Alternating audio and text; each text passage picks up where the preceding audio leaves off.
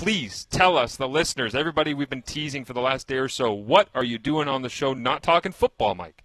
No, this is a somewhat different, a different uh, shape of a ball, a different sport altogether, and I'm happy to announce that we are officially launching the Canadian Elite Basketball League, uh, the CBL, that will begin play in May of 2019, and it is going to bring professional basketball to Canada in a big way. So we're pumped about it. Uh, we know we have a daunting task ahead of us. We've uh, spent a considerable amount of time getting to the point to announce this launch, and uh, we have about another year to go, and a lot of fun things to announce over the over the next coming year. And we are just uh, super excited, not only um, for the basketball community, but for you know regular uh, you know individuals and families who want to get out and need a good live game day experience. And we will be bringing it to them starting in May throughout the summer months. And uh, yeah, we are uh, we're pumped. We'll have six teams to start and one right here in Hamilton. So six teams launching the first year: Edmonton, Fraser Valley out in BC, Hamilton, Saskatoon, Niagara, and Guelph. When you look at the six teams and the six cities, uh, what sticks out? Well, we when we did this research, we, first of all, we wanted to be in the top 50 municipalities uh, in the country, and we wanted to make sure that we were in places that had strong, um, you know, amateur basketball and association programs. And then we also wanted to work and uh, play in in, uh, in great venues with with uh, partners in at the cities and economic development, um, you know, and, and just fans that really wanted uh, another avenue uh, of entertainment, especially in the summertime. So there's a lot of factors that go into it. We're we're thrilled with the the inaugural six teams uh, that will be starting, and then we're also open to growing the league and making it uh, bigger and better. And we'll do that, uh, you know, selectively uh, after careful consideration. But the where we're at today is um, is a really outstanding opportunity uh, to create something brand new and exciting. Mike, Amos Conley here. Um, we've had a chance to talk a little bit about this, uh, sort of under wraps, um, and now it's nice to see this finally uh, released and see you be a part of it.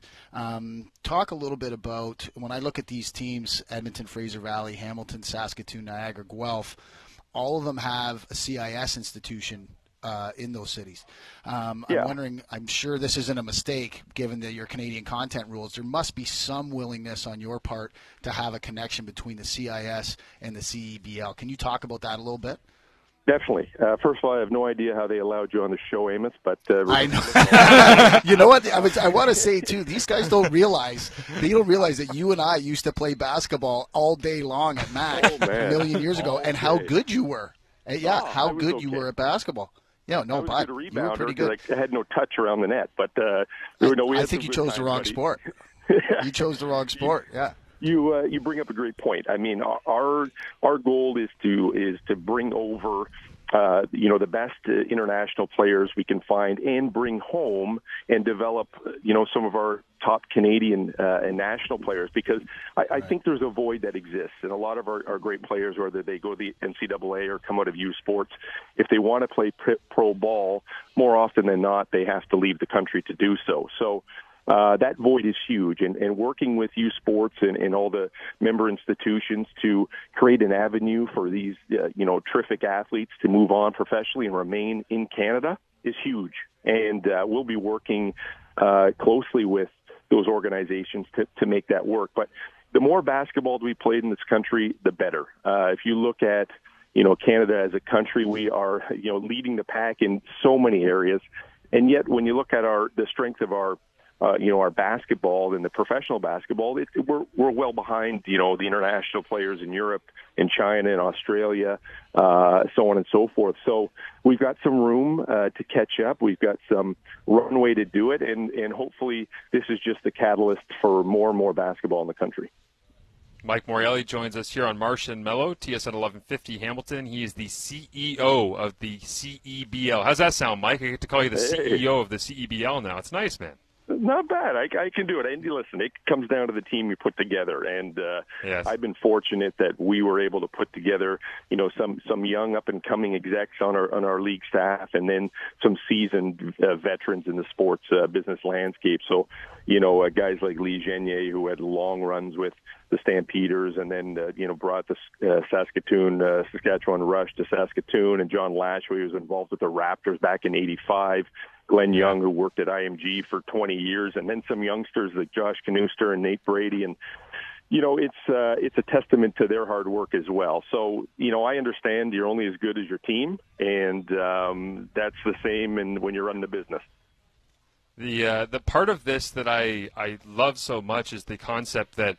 Um, you know, I've been looking at basketball ratings, and again, the NBA, you can deem it to be as similar or as different um, as what you are embarking on this journey with the CEBL with. But uh, I've seen ratings for, you know, LeBron's Game 7 on Canadian television against the Pacers was the highest rated first round series game in like 15 years. And I've seen the regular season ratings that have been happening uh, on TSN throughout the year. Basketball popularity in this country Uh, everybody always wants to talk about, you know, soccer is expanding and what is football doing and where are we trending with the NFL and are people cutting cords and all of that. Regardless of what's happening with a lot of those different sports, it seems like basketball, for some reason, whether it's north or south of the border, Canada or the United States, has become this anomaly where it's just staying popular and it's becoming increasingly ever more popular. How much of that, that recent trend, led to you wanting to be involved in something like this? Because it feels like the perfect time to try and do something like the CEBL.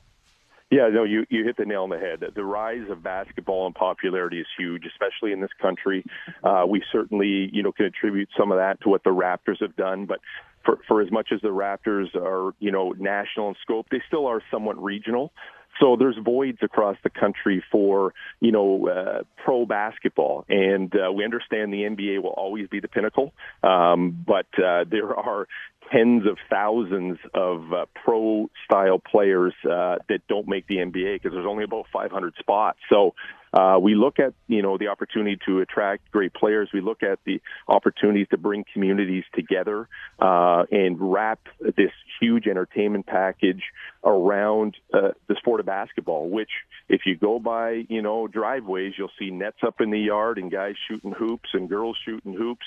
Um, because to play basketball is a pretty easy, seamless thing. You buy a ball, you put on some shorts, and you, and you shoot a shoot through a hoop. So um, that popularity, the coolness, the hipness, the the family friendly nature of basketball is really a lot of the fundamentals we looked at to making this uh, what it is and continue to growing this. Now, when you launch uh, this league this morning, as CEBL, I look at you know other leagues that have tried and some have failed and some are kind of still going. What makes this league different?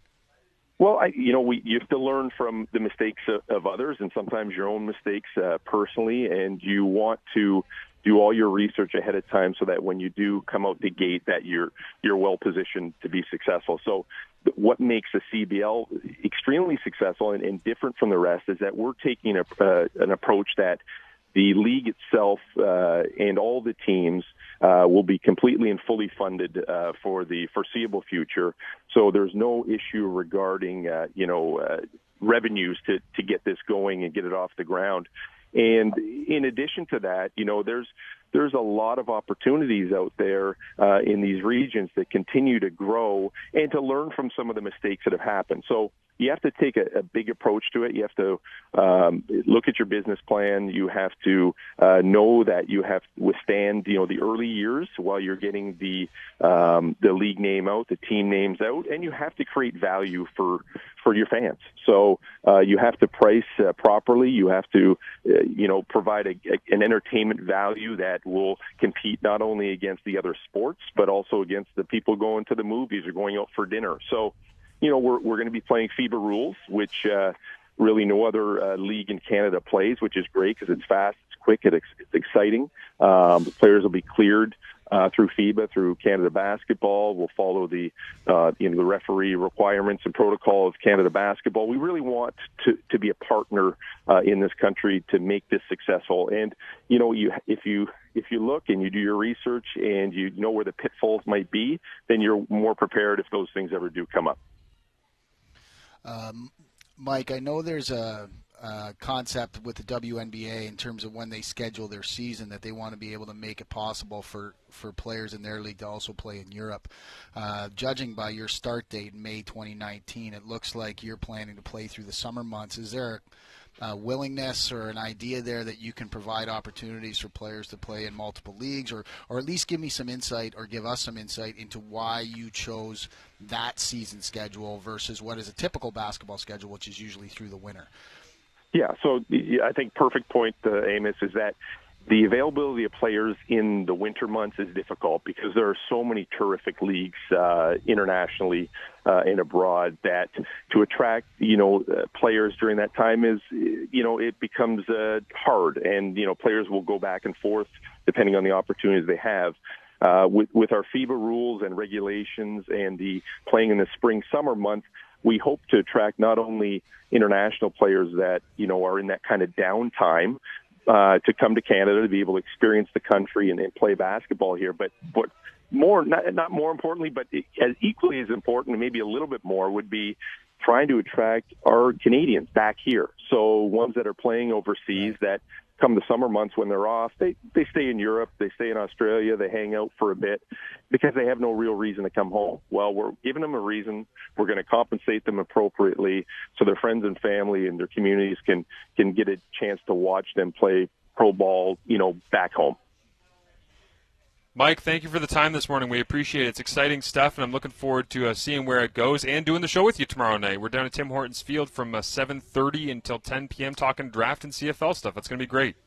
Well, thanks, guys. Listen, always a pleasure. Uh, you, you, know, Kyle and Marsh and and uh, Amos, man, you made my day even better today, buddy. Thanks so much. We'll talk to you guys. thanks, Mike.